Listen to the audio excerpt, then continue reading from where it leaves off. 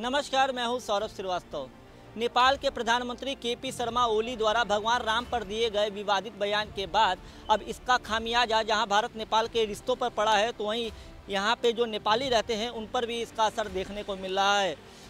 भारत और नेपाल के बीच एक मैत्रीपूर्ण संबंध हुआ करते थे, और वाराणसी में अगर प्रधानमंत्री नरेंद्र मोदी के संसदीय क्षेत्र वाराणसी की बात की जाए तो वाराणसी में नेपाल पशुपतिनाथ का मंदिर भी है, और वाराणसी में नेपाली बड़ी संख्या में रहते हैं। एक इलाका है जहाँ पे पूरे नेपाली लोग ही रहते हैं। वो यहाँ पे रोज़गार के लिए पहुँचते हैं, यहाँ पे पढ़ने के लिए पहुँचते हैं। लेकिन अभी विश्व हिंदू सेना ने प्रधानमंत्री नरेंद्र मोदी के संसदीय क्षेत्र में विश्व हिंदू सेना ने नेपाल के प्रधानमंत्री के पी शर्मा ओली के बयान को लेकर के कड़ा रुख अपनाया है। विश्व हिंदू सेना ने जहाँ एक तरफ़ पोस्टर जारी करते हुए नेपाल के प्रधानमंत्री को चुनौती दी है कि वो अपने इस विवादित बयान को वापस ले, अन्यथा यहाँ रहने वाले नेपालियों को इसका परिणाम भुगतना पड़ेगा। तो वहीं विश्व हिंदू सेना के कार्यकर्ताओं ने वाराणसी के गंगा घाट पर एक नेपाली युवक को पकड़कर उसका ज़बरदस्ती सिर मुंडवाया और उससे नारे भी लगवाए हैं। नेपाल के प्रधानमंत्री के खिलाफ जय श्री राम बुलवाया है। कई इस तरीके की घटना हुई है। तो वाराणसी में किस तरीके से नेपाल के प्रधानमंत्री के मुर्दाबाद के नारे नेपाली युवक से लगवाए गए आप इस वीडियो में देखिए। विश्व हिंदू सेना जिंदाबाद। हिंदुस्तान जिंदाबाद। हिंदुस्तान जिंदाबाद जिंदाबाद। जय श्री राम जय श्री राम श्री मान्य मौली प्रधानमंत्री जी मुर्दाबाद मुर्दाबाद। नेपाली प्रधानमंत्री। नेपाली प्रधानमंत्री मुर्दाबाद मुर्दाबाद। जो नेपाली माननीय नेपाल नेपाल को प्रधानमन्त्रीलाई हामीले रोजी रोजगार दिए छैन हामी इन्डियामा कमाउनु आएछु त हाम्रो हक किन छिनिरहेछ? नेपालको कति मान्छे विदेश गयो कमाउनु खानको लागि?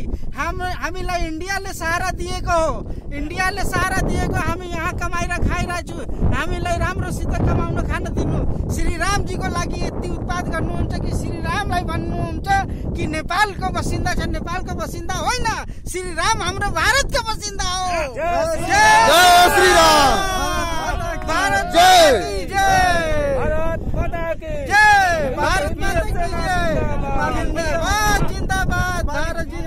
बोलो जय श्री राम जय श्री राम हिंदुस्तान जिंदाबाद जिंदाबाद जिंदाबाद। जिंदाबाद नेपाल मुर्दाबाद। जैसे ही ये वीडियो सोशल मीडिया पर वायरल हुआ इस वीडियो को प्रशासन तक जैसे ही ये वीडियो पहुँचा क्योंकि विश्व हिंदू सेना ने शहर के कई इलाकों में जहाँ पे नेपाली मंदिर है नेपाली मठ है और कई ऐसे इलाके जहाँ पे नेपाली लोगों का ज़्यादा आना जाना रहता है, वहाँ पे इस तरीके के पोस्टर भी चस्पा किए हैं और नेपाली युवक का जो सिर मुंडवाया उसका वीडियो जब से सोशल मीडिया पर वायरल हुआ है, प्रशासन ने इस मामले को गंभीरता से लेते हुए विश्व हिंदू सेना के कार्यकर्ताओं के खिलाफ मुकदमा दर्ज कर आगे की कार्रवाई में जुट गई है।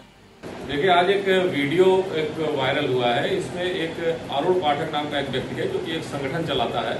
उसके द्वारा एक व्यक्ति का बाल शेप करवा करके, उसका वीडियो बना करके फेसबुक पर डाला गया है और उसको नेपाल के प्रधानमंत्री के एक वक्तव्य से कनेक्ट किया गया है तो उसके विरोध में उसके द्वारा एक कार्य किया गया है। इस संबंध में उसके द्वारा एक पोस्टर भी जारी किया गया था। इस पूरे प्रकरण को बहुत ही गंभीरता से लेते हुए थाना भेलूपुर पे आज संबंधित धाराओं में अभियोग पंजीकृत किया जा रहा है, जिसके द्वारा एक कृत्य किया गया है। उसके संबंध में पूरी जानकारी कर रहे हैं उसकी गिरफ्तारी के लिए प्रयास किया जा रहा है। बहुत ही इसमें सख्त कार्रवाई की जा रही है।